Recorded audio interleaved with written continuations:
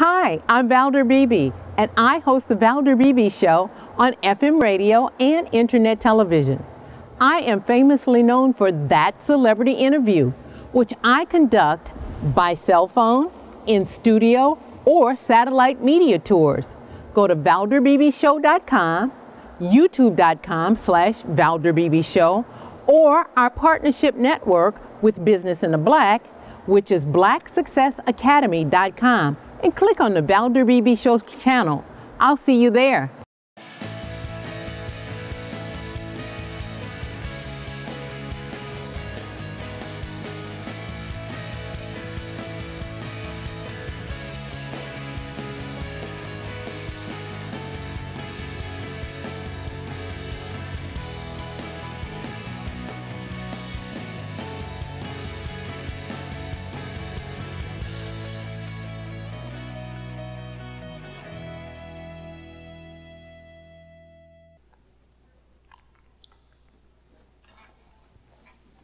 Hi. Good morning, Dr. Anita Ogden. Thank you for joining us here in Dallas, Texas, live on KKVI FM Radio, The Valder Beebe Show. Good morning. Thank you for having me. Well, you know, everybody at my office, and I'm sure this is happening at people's home, home they're coughing, they're sniffing, they're whiffing, whatever that is. But I, they they keep telling me they've got these allergies going on. Is it because it's spring? Oh, yeah, for sure. Uh, April, May, and early June are those intense spring allergies seasons and months, and that's when people can expect to experience those really classic allergy symptoms. Okay, so what can we do to help them? Uh, I don't have allergies, so uh, but I'm just empathetic to those who do have allergy. Is there anything that we can recommend or help them with? Yes, absolutely. So, so key to allergy season is being prepared and prevention. Uh, you want to really control your exposure, minimize your exposure to pollen, and you can help minimize your symptoms. So, what I recommend to my patients is a nightly allergy ritual. Uh, when they come home from being outside, they should remove those clothes and leave them at the door uh, or put them in the wash. Uh, and every night, they should take a shower and wash their hair. And very important, they should wash their face their eyes and their eyelids. It's important for allergy sufferers to also think about using non-irritating products. Avoid products that contain parabens and fragrance, alcohol, and soap.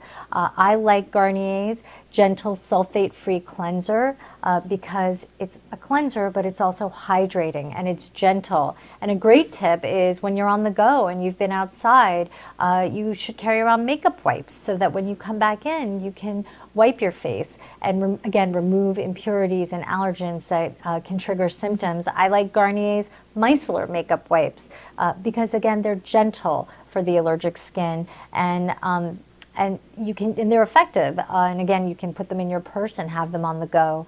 Um, other very important tools are saline. Saline wash for the nose and for the eyes uh, helps remove pollen residue at the end of the day before you go to bed. And when you are out and about, uh, use sunglasses and a big hat to, again, minimize how much pollen's landing on your body. Uh, I sometimes tell my patients to use Vaseline or Aquaphor or a balm around the nostrils so that you're trapping pollen before it enters your nasal passages.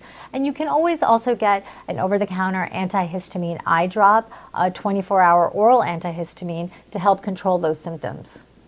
Dr. Ogden, Ogden, those are some great ideas. Those are things, as an employer, I can put some of those things in the bathroom, uh, in a restroom where, you know, people congregate. Thank you so much for that information. But I'm sure that allergy sufferers know a lot of this.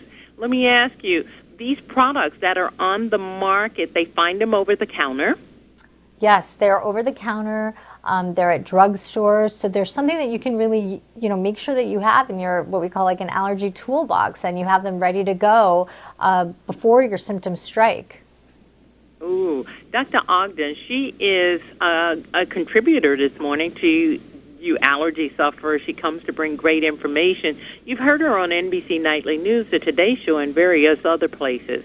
Now listen up because she's on the Valder Beebe show. Dr. Ogden, how serious is, is allergy sufferers? Is it just a few people in the United States or is it a lot? Oh, it's a lot. Um, they roughly uh, 40% of Americans have allergies and seasonal allergies, and we think that number will just continue to rise because every year we're seeing worsening allergy seasons, um, pollen counts that are soaring.